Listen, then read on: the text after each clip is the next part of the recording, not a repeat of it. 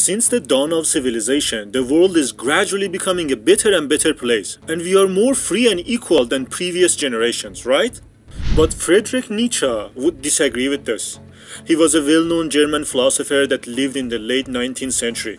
In his book, Beyond Good and Evil, he talks about how people in the West are suffering from dogmatic thinking, which is preventing them from seeing the world as it truly is a world based on violence and inequality. This book is not easy to read, but I was able to find some wisdom in it.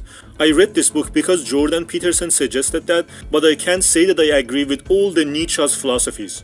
Let me tell you some of his philosophies and you can decide for yourself. Lesson number one Desire for more power controls people's behavior. Nietzsche believes that the desire to gain more power is ultimately the only reason that gets people to do something. He says this is part of human nature and enables us to survive. For example, when we help others, we might think we are doing it out of a good heart. But have you noticed that you are more likely to help someone you are attracted to? Lesson number two There is no one truth.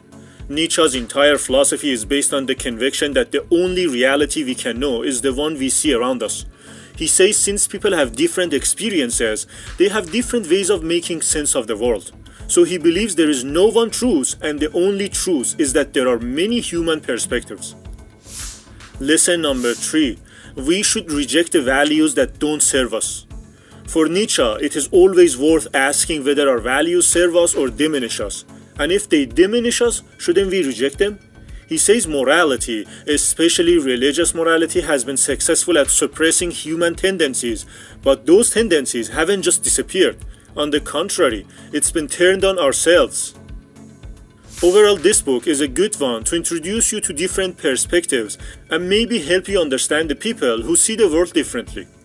Thank you so much for watching. If you are at this point of the video, that's great. Thanks for the support. Just make sure to like the video because it helps the channel a lot. Thank you so much again and see you in the next video.